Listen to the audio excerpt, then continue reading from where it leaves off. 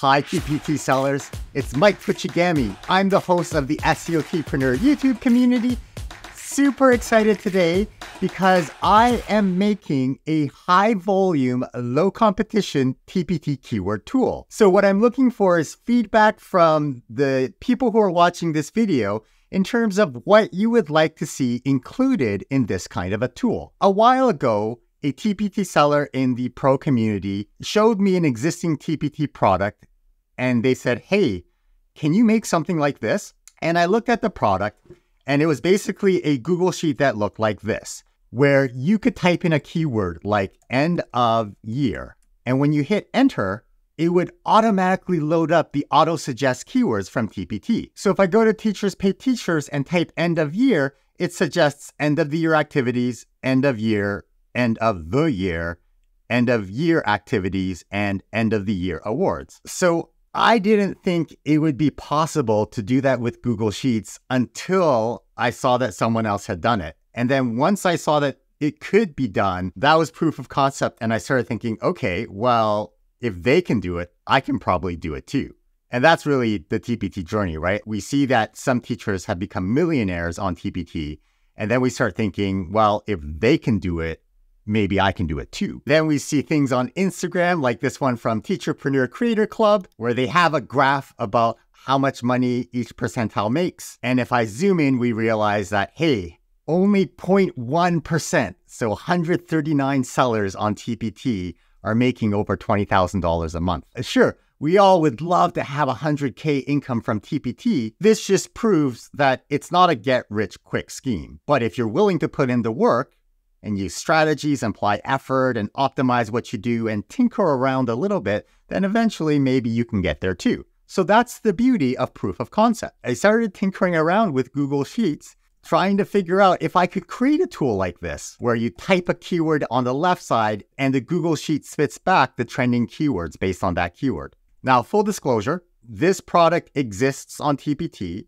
I haven't purchased it, but I did watch their video to see what it was. So I don't know if the way that I made my Google Sheet tool is the same way that that TPT seller coach figured out how to do it. There are many ways to bake a cake, and the ingredients that I use to bake a cake might be different from the ingredients that you use to bake a cake. And that's the great part of innovation. You see what other people are doing, and you start sort of tinkering around and figuring out, okay, well, how could I do this better? And that is exactly what Paula forced me to do yesterday when we were chatting in our Saturday staff room Zoom club. I was super excited and I showed her what I had just made and I searched up phonics because I know that's what her store's about. And it pulled up these keywords and she said, yeah, that's great. But what would make this better for her would be to see how much competition there was for those trending keywords. These are high volume keywords, but there's just so much competition. How do you know which of these keywords to go after? And I thought, okay, we can actually do this because we've already solved that part of the puzzle.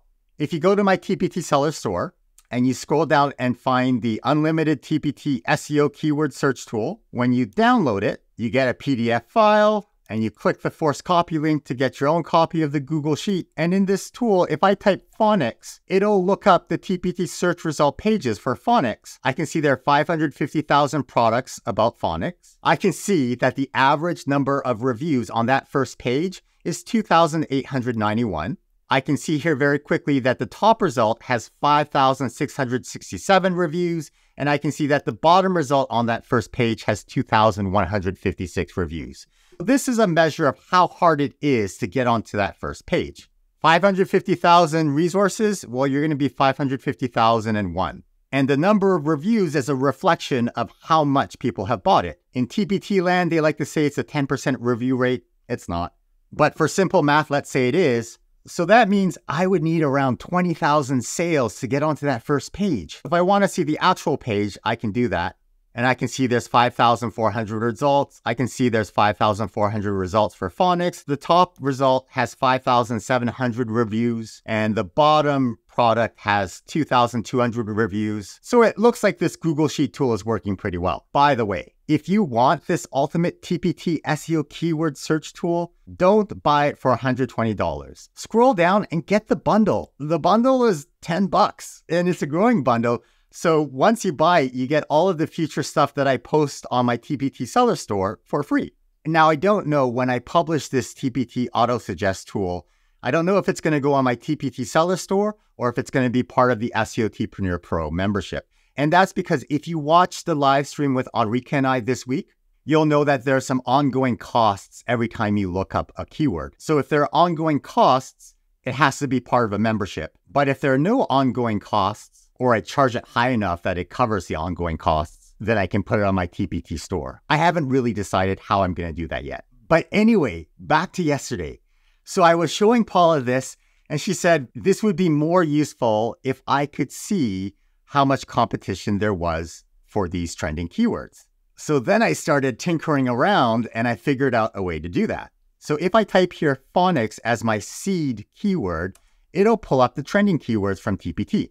Phonics, phonics worksheets, and then right beside it, it's loading in the data from the first search results page. So right away, quickly at a glance, I can see, yeah, Phonics has 540,000 results, but Phonics Crafts has only 14,000 results. That's way more doable. We only have a relative sense of volume right now, so Phonics has more search volume than Phonics worksheets. It could be one more search or it could be, you know, 100,000 more searches. We don't get a true sense of scale because the trending keywords are just listed in the order of trending of, of searches. You know what I mean. But on this Google Sheet, it summarizes the average number of reviews on that first page, how many reviews that first resource has, so 5,667, and how many resources the last resource has, 427. So I was super excited. And if we're talking about innovation, it's this idea about how can we create new things and better solutions and more efficient solutions to life's problems. So Paula told me yesterday what she really would like to be able to do is she knows that she'll never compete at the all grade level stage. But which one is easier, grade one or grade two? Wouldn't it be neat if you could see those side by side? So I made that. I can see here the seed word is phonics. And on the left hand side, it says grade all. So I'm going to change this to grade one, first grade. And it's pulling up the results for first grade. She mentioned she wanted to compare that with second grade. So let's change this to second grade. Now I can see which grade has more competition. So this column with number of competitors for the first grade and this column with the number of competitors with the second grade, they're color coded. The lowest numbers show up in green. And I can see between these two sides, 5,900 competitors is the lowest number. So second grade phonics crafts would be better for me to try to rank for than first grade phonics crafts. Blue is good, and the trending keyword with the lowest number of average reviews is 124, and that's at the second grade level. Neat, right? If you would like this kind of a tool, can you give this video a thumbs up? I'm at the point of my business right now where I have to pivot and decide where I spend my time. Do I spend the bulk of my time on my TPT store creating social emotional learning resources for middle school?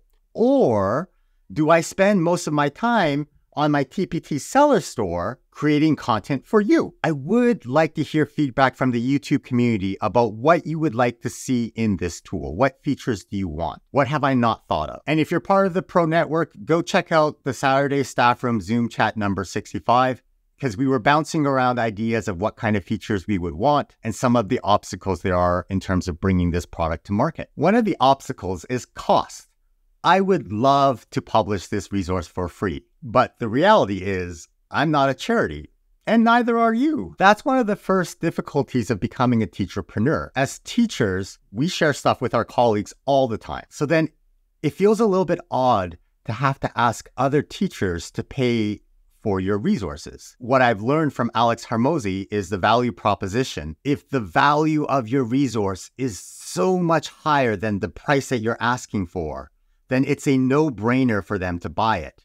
So then they're happy because they get a great resource that they didn't have to make and you're happy because you got a price that you wanted. We have a little bit of imposter syndrome to overcome, which is we feel bad asking for money for our resources. But the reality is, you as a teacher, you're allowed to earn a living. And TPT provides a marketplace where people who have resources to sell can meet people who are trying to buy those resources. And I believe if you are so good, they can't ignore you. And eventually, that's how you crack the code to success. I have a hard time with this, but I have to accept that I'm not a charity charity, and it's okay for me to ask a price. Although I'm not a charity, I am a social enterprise. I'm not a regular business. So in business, the goal is to maximize profits. If you're a social enterprise, the goal is to maximize profits while maximizing the benefits to society. And I think some TPT sellers are confused about my business model. When I first launched the free data tool, both the free version and the advanced version were completely free. It's not like you downloaded the free version from TPT, and then if you wanted the full version with all the bells and whistles,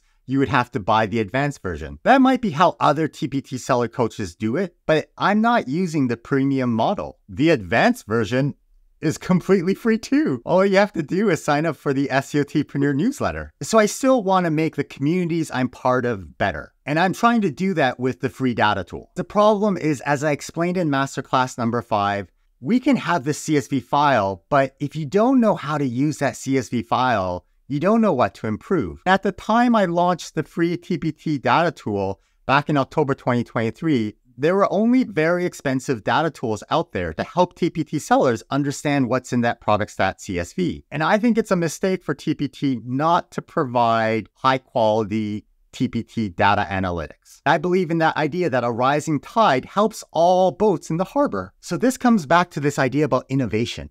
If TPT sellers knew which keywords had high volume and low competition that they could put their personal touch on and create a product, then those TPT sellers can go after those high volume, low competition keywords that are underserved by the current TPT market. And then eventually, with innovation comes competition, and other people will compete for those keywords. And then TPT sellers will have to think about ways to improve their products so that TPT buyers want them. This is the virtuous cycle of innovation and competition. My goal with that free TPT data tool is to try to level this playing field so that this person in the purple shirt can see the game and the game is a metaphor for what you need to improve in your TPT business. I know of many sellers who have told me that they love the TPT seller tool because it's free and it lets them see which products they need to work on. My favorite review so far is from Fifth Gear because this is the dream. This is exactly what I'm hoping for. I've been using this tool since January 2024 when I discovered Mike's YouTube channel. I'll admit that at first it was overwhelming.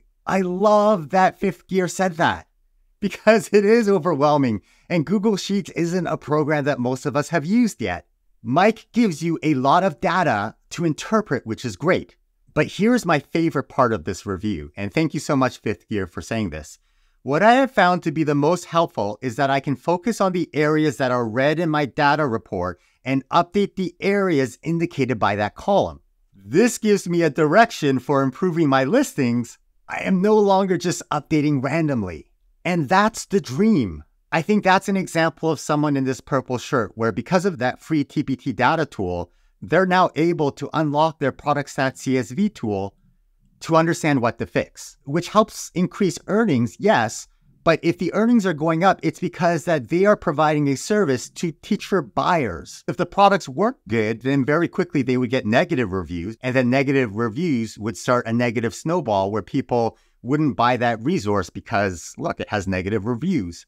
So I've heard from a number of TPT sellers who have been able to watch the YouTube videos and improve their stores. Back in October 2023, when I put out this video about should I be blackballed by the TPT seller community, I pointed out that even if I put out that free seller tool, there will still be people in this purple shirt who can't use the free seller tool. So then it's frustrating because they don't know what to fix to improve their TPT businesses. So to help the person in this purple shirt who's not able to get the most out of the free data tool, I'm now running workshops. If you go to SEOTpreneur.com and if you click on workshops, It's called the Get Ready for Summer TPT Data Workshop. And by the end of the workshop, you will know exactly which products to work on this summer to get ready for the back to school spike in sales. Now, I am so confident in the ability of this TPT data tool to help TPT sellers. I'm giving a 100% satisfaction guarantee. I call it the if you don't discover new insights about your TPT products, you get your money back. Isn't that crazy? Over the past six months, I've been having nonstop conversations with TPT sellers. And every single time I use the simple tool or the advanced tool with their data, we can figure out things to work on. So, this workshop is to help the people here who don't know how to use the free seller tool. But it's also to help the people in the purple shirt here who are able to use the free seller tool and to unlock even more of the hidden features in there. Originally, I had a little bit of imposter syndrome charging for this workshop because I received an email from a TPT seller and they said that they had a little bit of a bad taste in their mouth because I was charging for training, which this TPT seller thought should be free because I wasn't doing a good enough job in the YouTube videos. And I agree, not everyone's going to be able to learn from those videos. You have to figure out which video to watch. And I make a lot of videos, so it's hard to know which videos you've missed. And even if you find the right video, the free TPT data tool keeps on improving, so you don't know if you're watching the right video because there are more features and you have to figure out what's changed. I talk quickly. So you have to slow down the video on YouTube, and not everyone knows that you can slow down the video. And even if you find the right video and you slow down the speed, the videos are stream of thought entertainment. I'm not using a script. It's not a classroom lesson. Plus, you can only ask questions on YouTube, and Mike doesn't always respond right away. And so then we start to get frustrated because we see what's possible, but the videos aren't working for us as a teaching medium. So I understand why this person in the purple shirt on the left hand side would feel frustrated. And I can understand why it would leave a bad taste in their mouth because I thought this was supposed to be free. But creating this landing page on my TPT blog made me stop and reflect on my imposter syndrome. I do SEO and digital marketing and coaching for brick and mortar stores, not just TPT sellers. If you wanted one to one coaching with me right now, my rate is $300 per hour.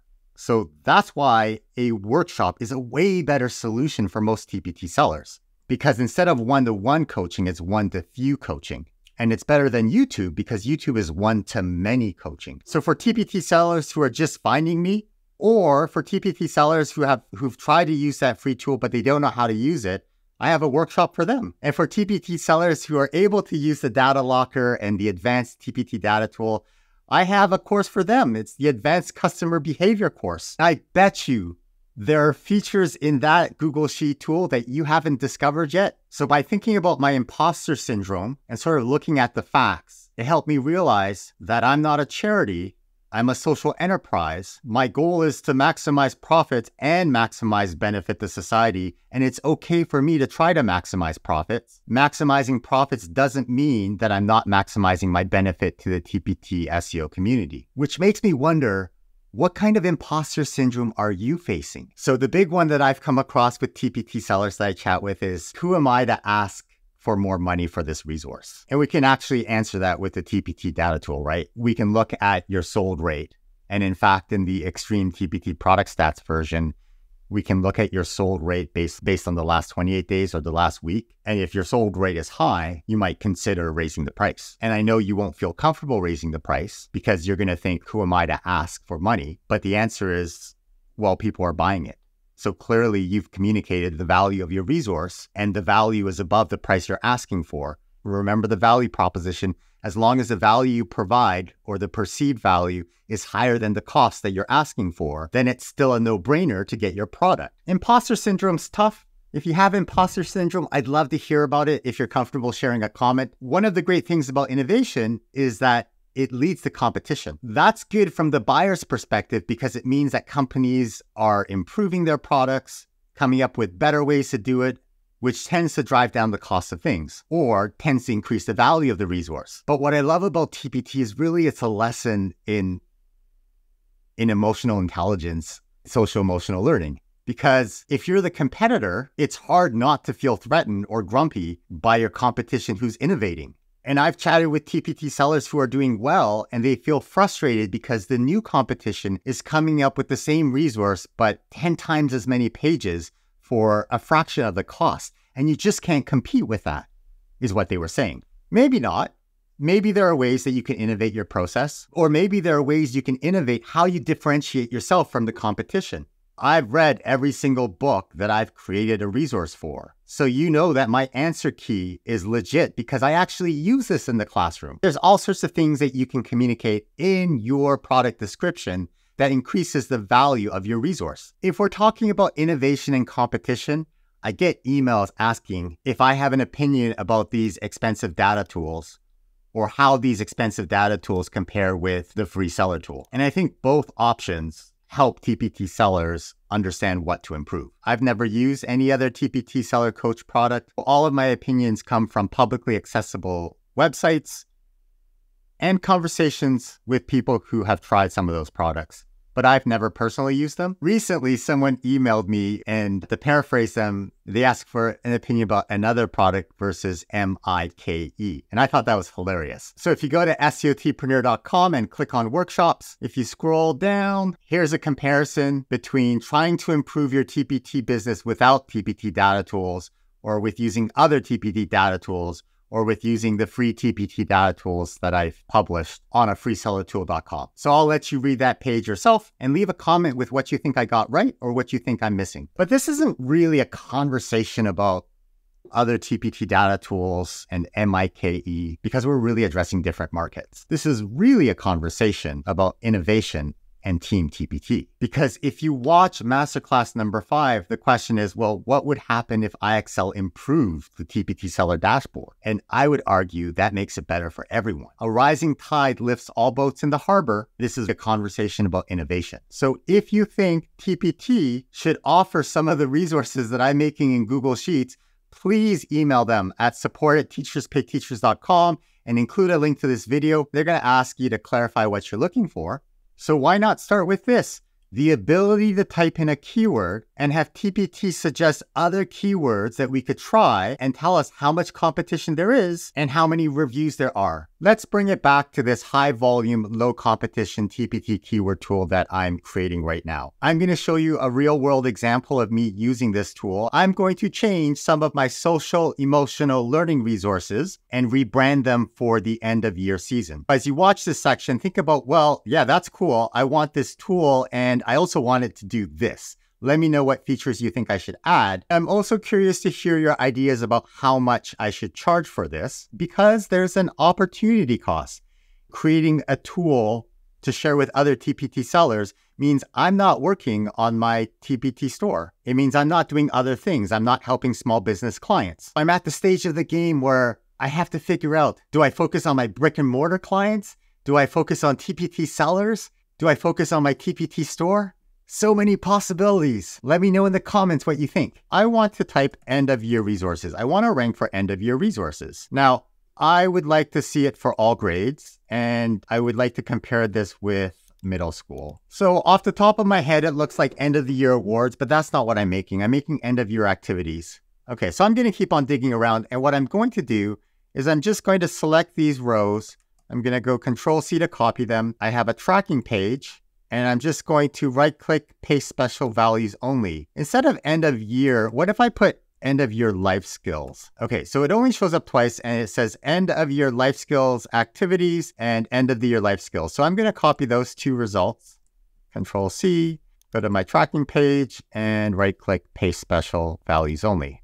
I have to put values only because I don't want to copy over the formatting. And if you saw, the color shifted. So what this is doing is it's keeping track and comparing the number of competitors for all of the search terms on this page. And the stuff in green is what I should go after.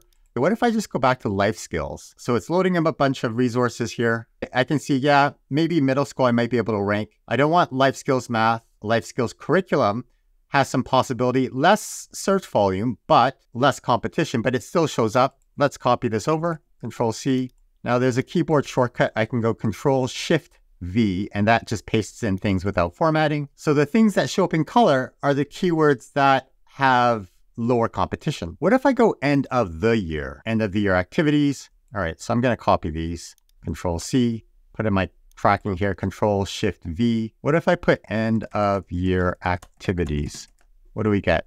And then I get grade specific stuff. So I don't know if I love that. What if I put life skills activities? One of the challenges is Google Sheets has a built in rate limiting factor, it's called. It will slow you down from crawling the internet too quickly. And that's just so that it doesn't overload website servers. So that's why you can see it's taking time at saying loading and it'll start to go slower and slower. Then I just have to wait for an hour and then come back. But interesting here, I can see the trending keywords end of year life skills activity shows up in here when I search for life skills activities. All right, I have a bunch of terms in here. And what I'm going to do is I'm going to delete ones that don't apply to me end of the year life awards, that doesn't apply to me. Right click, delete row. Math, no, math doesn't apply to me right now. So I'm going to delete that right now. Life skills curriculum, I'm going to delete this as well. End of the year awards, craft and memory book, that's not what my resource is about. So I'm just going to delete those rows. End of the year fun packet. So here's an example of how this kind of tool can help us find a high volume, low competition keyword. So I looked up end of year fun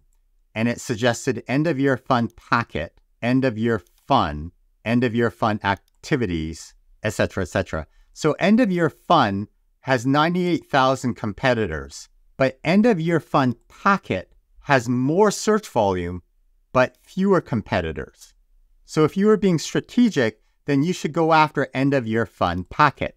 My 6Cs resource isn't a packet, so that's not necessarily a case. But this tells me that if I have other resources that could be a packet, then maybe I should call them end of year fund packet as opposed to end of year fund activities or even worksheets. Worksheets has less search volume than Packet and it has more competition. So tell me what you think of this high volume, low competition TPT keyword tool that I'm working on. Do you like it? Is it a waste of my time? What do you think? If you made it this far and you're not subscribed, please hit subscribe because in a future video, I'm going to share with you insider information about TPT search. It's insider information in the sense that other people in the TPT community don't know about this. It's insider information from publicly accessible sources of information. All right, we'll see you next time. Bye bye now.